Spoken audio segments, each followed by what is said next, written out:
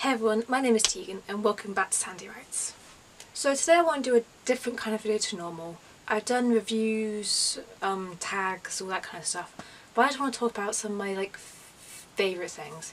I made a blog ages ago about like my favourite YA book quotes and I just want to, you know, talk about that. Because I want to talk about books, but I've basically lost inspiration. So anyone who isn't familiar with YA novels may think that they're just like nothing but cheesy romance stories. And honestly, I kind of did think that at first. But we all know that's not the case and you'll often come across a quote in a young adult book that won't leave your mind.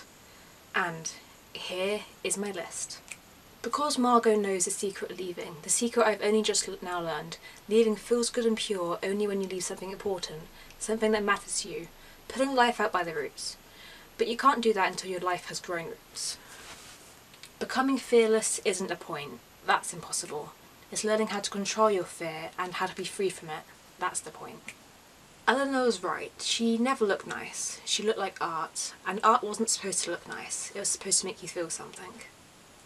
Some walks you have to take alone.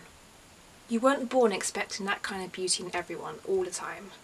You just got programmed into thinking anything else is ugly. The universe is bigger than anything that can fit in your mind. I can tell you that the end of the life is the sum of the love that lived in it, that whatever you think you have sworn, being here at the end of Jem's life is not what is important. It was being here for every other moment. The words were on their way, and when they arrived she would hold them in her hands like clouds, and she would wring them out like the rain. You spend your whole life stuck in the labyrinth, thinking about how you'll escape it one day, and how awesome it will be. And imagining that future keeps you going, but you never do it. You just use this future to escape the present. If you ain't scared, you ain't human. So this is a very quick video, I don't know if it's any good, but I hope so, because I really like books and I really like quotes.